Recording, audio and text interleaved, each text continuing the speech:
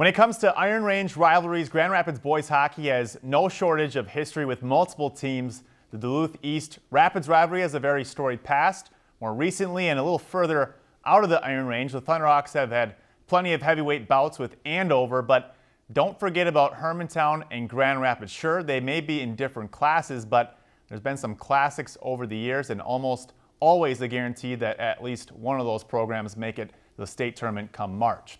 33 combined state tournament appearances among the two schools. The Hawks entered tonight ranked first in 1A. Thunderhawks are eighth in 2A. And you couldn't find many open seats at the IRA Civic Center. A lot of orange and black packed in the stands in the first period. Rapids down or up or 0-0. Renmore K fires a shot. That lights the lamp and Thunderhawks up 1-0. Second period now, Hayden DeMars winds up and goes top shelf, bar down. What a shot. Rapids out in front and in control 2-0. But Hermantown with the big play with just 10 seconds left in the second period. Bo Janzig with a shot deflected off Easton Young's stick. The Hawks had another goal just like that in the third, and then they scored in overtime with just 48 seconds left. Hermantown comes all the way back and shocks Grand Rapids 3 to 2 in overtime. Lakeland News is member supported content. Please consider supporting Lakeland News today.